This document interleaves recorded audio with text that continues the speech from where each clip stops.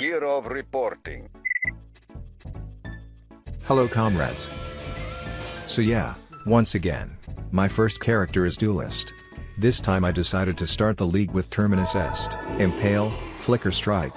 And obviously, best skill for leveling is Splitting Steel, and Shattering Steel for bosses.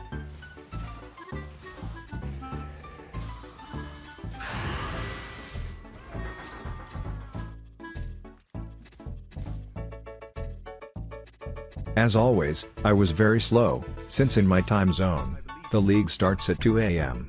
But there is a good thing about this, I was able to buy Terminus Est at level 50, which would not have been possible on the first day.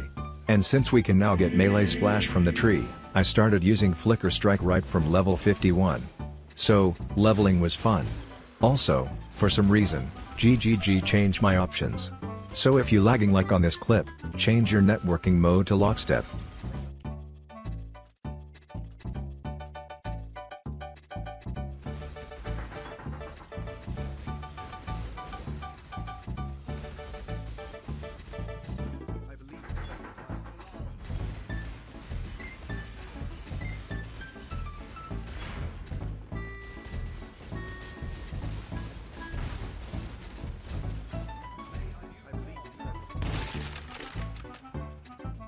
So, campaign is done, let's finally buy some items.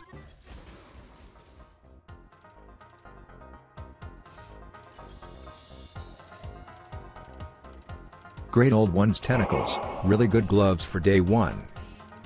Darkray Vectors, of course. Some shit 5 link body armor. And the rest items from campaign that aren't even worth mentioning. So, let's try our first map.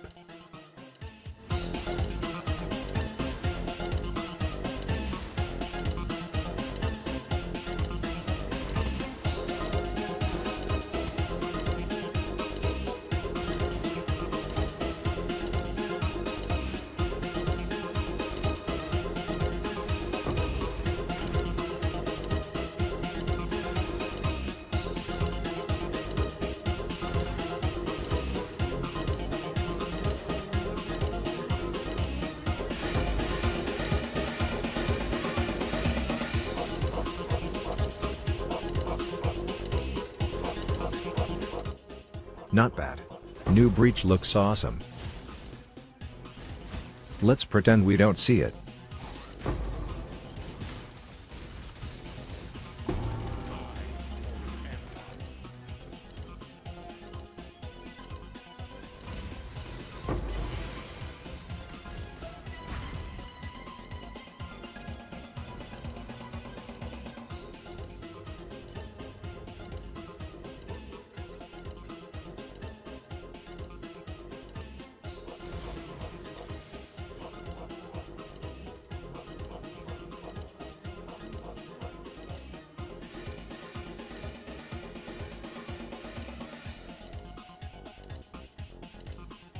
Since I got some currency, my first purchase will be Kaom's Spirit, probably the most underrated gloves in the game.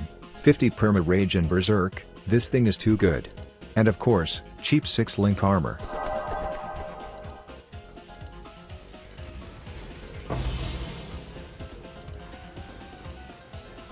Comrades.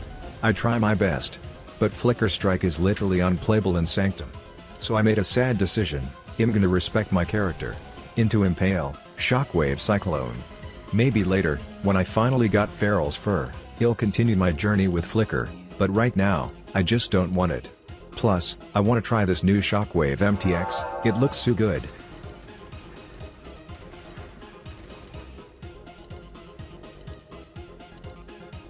This is still not my final tree, I just don't want to spend more currency on regrets orbs.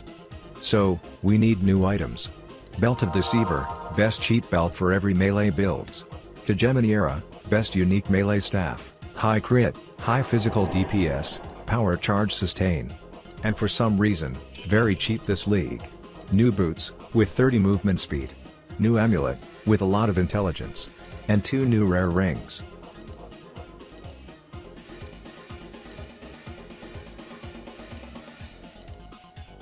Devoto's Devotion, movement speed, attack speed, chaos resistance, good for Cyclone.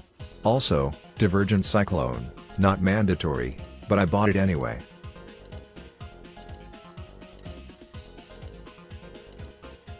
So, resistance. Done. Uberlab. Done. Let's finally test our build.